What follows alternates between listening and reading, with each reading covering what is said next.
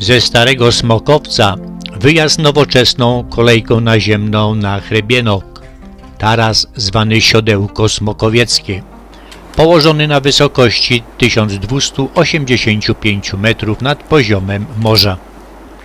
Szlakiem zielonym w ciągu 20 minut dochodzimy do najpiękniejszych w Tatrach Słowackich wodospadów, które stanowią zespół niewysokich, lecz dynamicznych siklaw.